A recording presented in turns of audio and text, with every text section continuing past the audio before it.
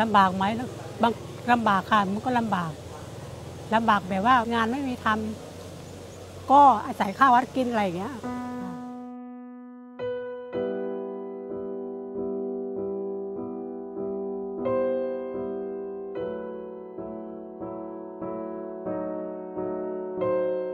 บางที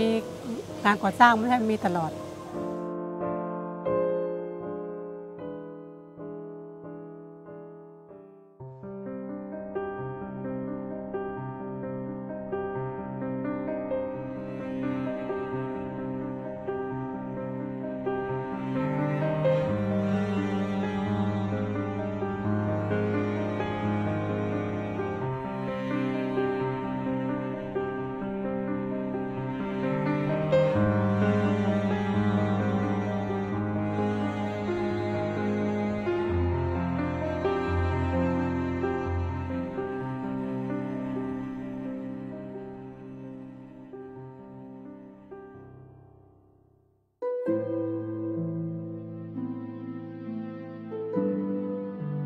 ก็ยายนอนกับตรงโน้น หลานนอนตรงนี้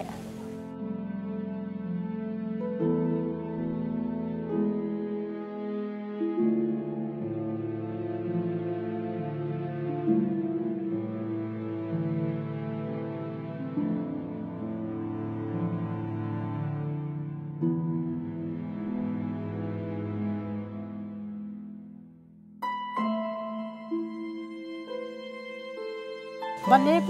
แจกข้าวแจกอะไรไปเอาน้าอะไร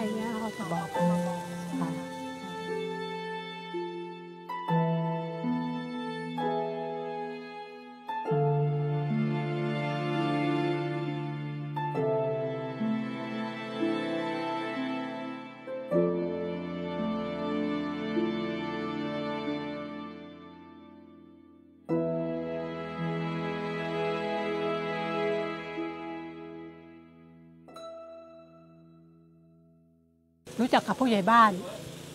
ก็เห็นมันว่างเฉยๆอยู่ ไม่มีอะไรอยู่ ไม่มีคนอยู่ ก็เลยขอแกมาอยู่ ผู้ใหญ่ใจดีก็ก็ให้มาอยู่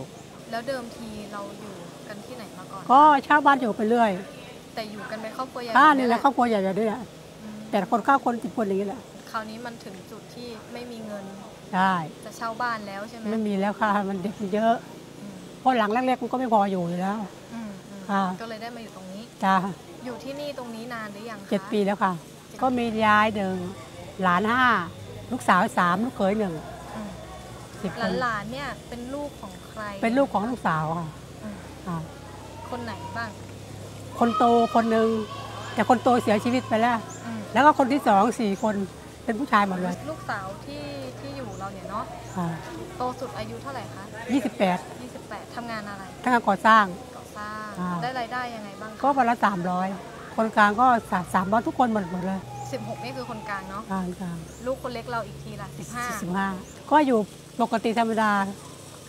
อยู่ปกติธรรมดาคือ กินข้าววัด อยู่แบบที่เห็นนั่นแหละ มีเด็กๆวิ่งเล่นตามบริเวณนี้อะไรเงี้ย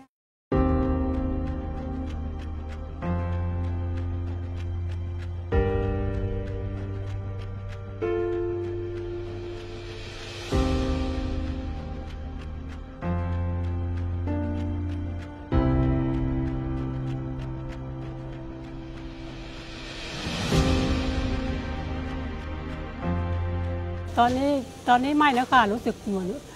ผู้คนก็ช่วยเหลือเยอะแล้วค่ะ ค่ะไอ้ตอนตอนนี้คือคือน่าจะพอได้แล้ว เพราะว่ามันเยอะจัดไปแล้ว คือเกรงใจเขายายไม่เคยเจอแบบนี้มาก่อนนะไม่เคยเจออะไรที่มันเยอะๆแบบนี้มาก่อนก็เลยตกใจตกใจเหมือนกันค่ะคนช่วยเหลือเยอะมากต้องก็ต้องขอบคุณเขานะที่เขายังนึกถึงว่า เออยังช่วยเหลือตลอด คนไทยเราไม่ทิ้งกันอยู่แล้วใช่ไหม ขอบคุณนะ ขอบคุณทุกท่านเลยได้อใช่ไหมยู่ได้แล้วค่ะไม่เดือดร้อนแล้ว ตอนนี้ไม่เดือดร้อนแล้วค่ะอยู่ได้ค่าปลาอาหารเยอะแล้ว มีหน่วยงานไหนมีเข้ค่ะาามีดูแลค่ะมันก็บ้างมีตลอดนะ เทศบาลของภูตะหลวง เทศบาลของเขตอุดมศักดิ์อืมแล้วก็รองเบียร์เขาพวกอาหารการกินแบบวันนี้แจกข้าวแจกอะไรไปเอานะอะไรอย่างเงี้ยเขาจะบอก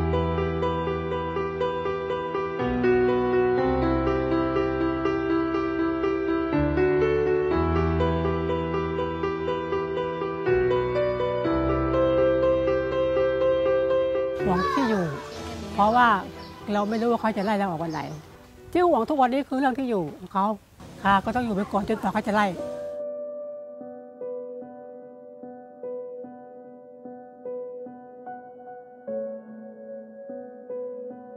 ก็อยากได้แบบเป็นที่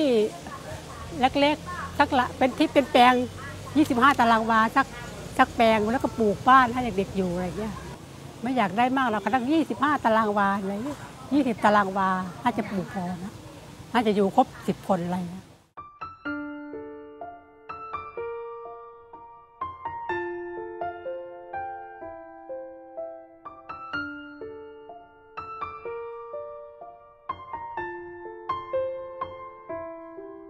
โอ้โหทุกคนทุกอย่างคือใจของยายอยู่เขาหมดเลยค่ะ คืออยู่กันทุกวันนี้ทนทุกวันนี้ก็เพื่อพวกเขาแหละลูกลูกสาวลูกสาวว่า แม่อย่าเพิ่งตายนะ ถ้าแม่ตายหนูเฟ้งเลยนะลูกๆคือลูกสาวก็พูดอย่างนี้จริงๆค่ะเราก็ต้องเออพยายามที่จะดูแลตัวเองดูแลตัวเองได้ทำตัวให้แข็งแรง ได้ไม่ไม่เครียดไม่อะไรอ